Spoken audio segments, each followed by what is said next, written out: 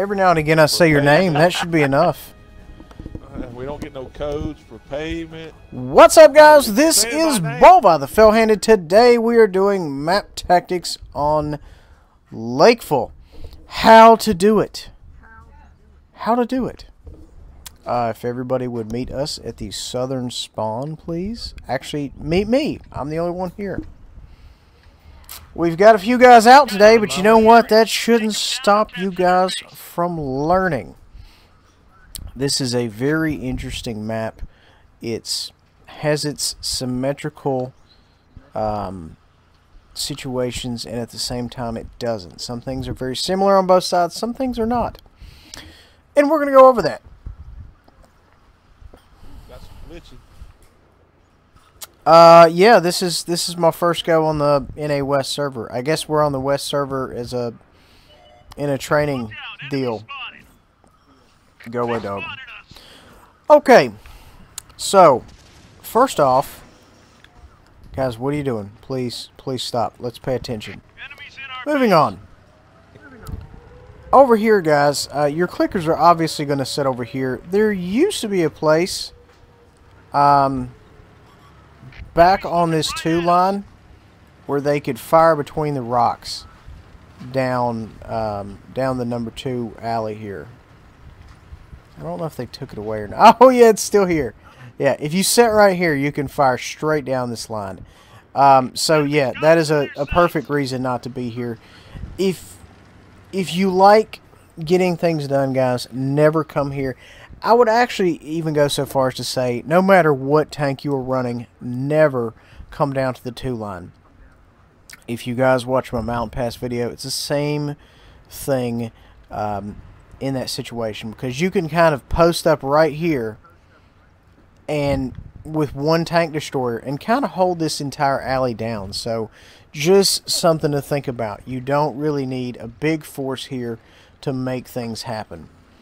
Um, Enemies looking right at and, also the guys, you know, you're just going to get pooped on by, you know, Yags or, or whatever tier you're playing. You know, there's going to be massive, tough, hold down arties over here. And, and excuse me, tank destroyers. Whew. Tank destroyers over here, so you just have to keep that in mind. Um, probable locations. You're always going to have tank destroyers camping the base because that is generally what tank destroyers tend to do. Uh, they're going to set right here. In other words, if anything goes south, they, they can just kind of back around the corner. Um, this is always going to be the case. You're always going to have tank destroyers here providing support fire to the city. The city, ideally, um, should be the should be the primary push point. Is a light medium. Um, this is kind of where you can get to. Uh, you can even go so far as to kind of push up into this bush. Now the downside is I see a lot of newer players. Wow, this is a little laggy for me. Um, get into this bush. It this looks good on paper, but if you look, if somebody even barely comes around over there, they're gonna spot you. I mean, because you may be at a good distance, um, uh, you know, from the guys over here, but the guy is gonna be like you know 150, 175 meters away. He will see anything that close unless it's you know a Russian tank.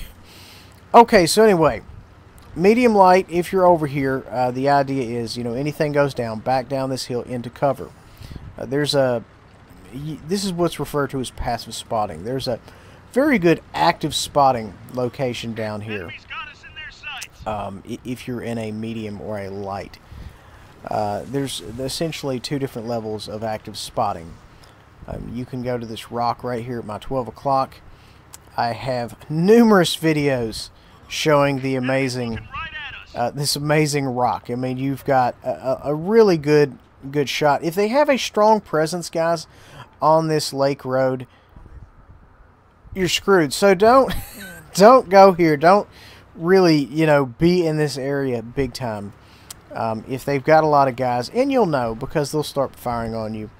Uh, this is the really super aggressive area. If you are in a fast tank and you can get here first, Enemies got us in you may not win the game, but you will absolutely wreck the enemy team. I'm not, you know, I'm not saying for sure you'll win because I have really seen some fumbles. But, you know, it'll definitely help your team out. Moving on. Guys, if you're in a if you're in a heavy, you're in a tank destroyer, anything slow, uh, and you're crossing over to go to the city or post up or whatever, I see so many guys cruising right here through where my where I am at. Um, and they're slow and they're going 25 clicks and they get tracked because they get spotted um, over there at E4 and then they just get annihilated. So if you are going over here, you need to get as close to this line as physically possible and then come down through here. Because if you get spotted over there in a heavy tank, you are screwed because you're going to be out in the open. Now, guys, right here, you're always going to have uh, mediums, lights, tank destroyers, heavy campers, just pretty much anything. Anybody who, you know, this right here, guys, is a good support position. I mean, if you were playing solo, I would recommend this.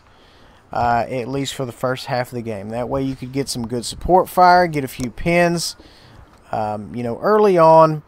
And then, you know, when things start to kind of break up a little bit, then you can move out. Uh, I see a lot of people go out there, and within the first minute, they've lost two thirds of their health. Don't be those guys. Conserve your health. Now, granted, you know, eh, you can go out there and lose that much health and still make it happen, but it's just not a good habit to make up. Uh, city is the primary push point. This is where the magic happens. Um, I, I see a lot of people fighting over that two line when you can just post up with a tank destroyer and an arty and just run things. Um, but that kind of seems to be what people like because when when you really think about it, guys, my head is in tier 10, so that's what I'm going to speak to you guys about. You know, think of like, you know, an IS-7 fighting an E5 or an E100. You know, the IS-7, even with APCR, still has crappy penetration, and the E100, you know, even with heat, can has a small window to pin the IS-7's turret. So it's just throwing silver at each other. That's all it is, and I am not a fan. Moving on. Let's start at the northern spawn and kind of come out of here and let's go over what is what. There's a few really, really good locations over here um, to kind of post up in. There, there's a few surprising locations. And when I was talking earlier in this game about, you know, this map having symmetry, you know, it having it and not, there's a few things that kind of surprised me as far as this goes that that you know just you wouldn't think of um, areas that you wouldn't normally think of that you could kind of post up at. Okay guys so moving on. Uh, clickers obviously back here that's where they live. If you are tank destroyer providing support fire death star what have you uh, right around here you know, as soon as somebody peeks up over there to take a shot at somebody on that hill, boom, you shoot them, or, or whatever tank. Um, so just keep that in mind. Right Getting over this side right here is where you want, eh, assuming you're going to fight this mess of a of a fight. Um, you know, I'm just going to kind of give you a little bit of ideas. It, it's to me, this is a this is a a lose lose. It's I don't know. Maybe you can make it happen. If you can make it happen, that's fantastic. I run mediums and lights. I am not about this knockdown drag out life. I am about farming you while you are in that knockdown drag out life. That's you know. And, and as a medium light, you need to be concerned about finessing people, not about taking people head on. I will stop talking about the two line now. As you can see, I am not a fan. Once again, guys, tank destroyers right over here, okay? If they get brave, they will pull up to this hill, okay? Now, granted, it's going to take them a while to back down and to actually get into cover. Um, two, two areas over here you can spot in. This first is right. It's so passive, it's borderline active. But every every now and again, every game, somebody's just going to put a random shot up here, so you got to be careful. Um, this is a good position for support fire.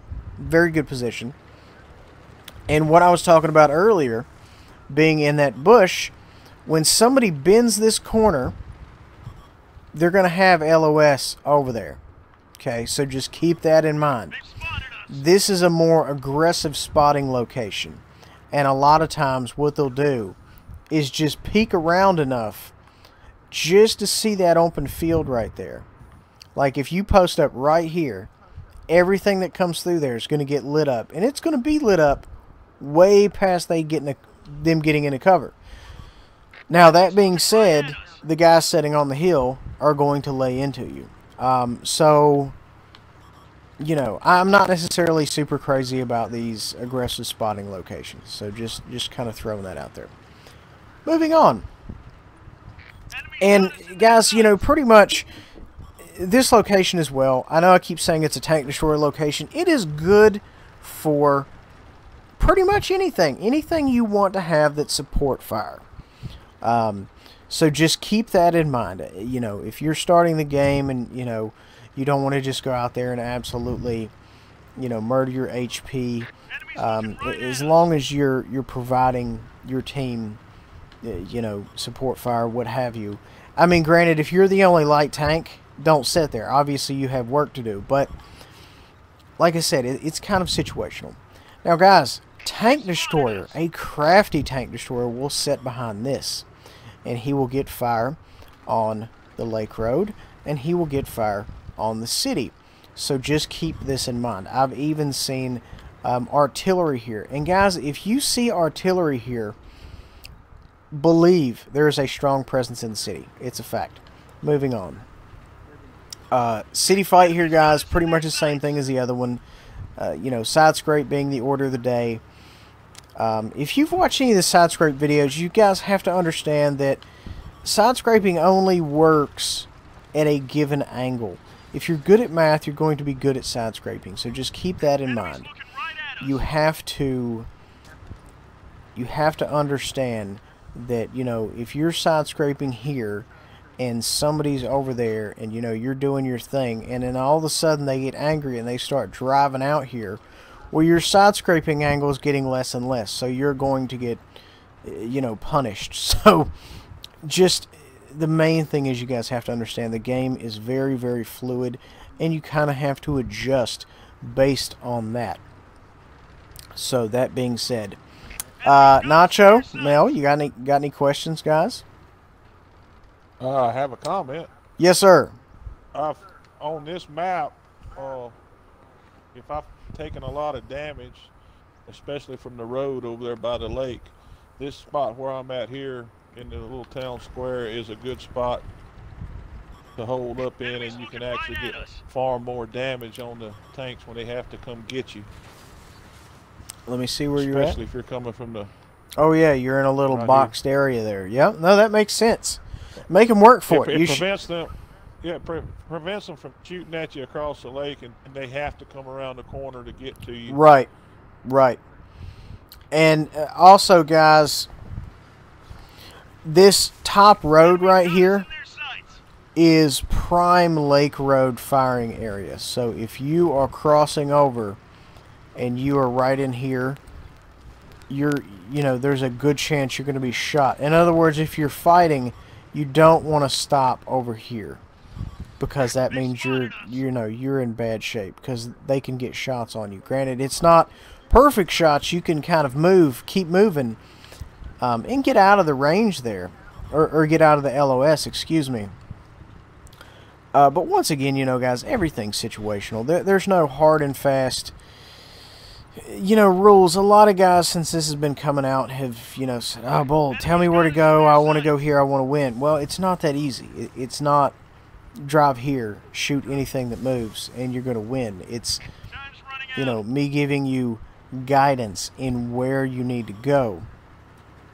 Um, because, you know, if you know the, the type of tank class probability wise that's going to be there, then that's going to help you make better decisions because they're not going to show up on your map yet because you're not going to be in that area, but you're already going to assume they're there, which is, you know, kind of going to help your game overall, if that makes sense. looking right at us. Um, you know, you just kind of have to Trying to capture plan on what's going to be where. Um, and you know, I'm not going to get into anything else because I, I could see me getting into it. The game's over in 15 seconds, and I'm just like, oh well, perp, never mind. Anyway, yes, Enemies got us in um, yes. So, watch this. Have any comments? Let me know. These guys are being really quiet, mainly because I'm doing all the talking. That's it's a perfect day. anyway, guys, hope you enjoy. Make sure to like, subscribe, share. We'll see you guys next time.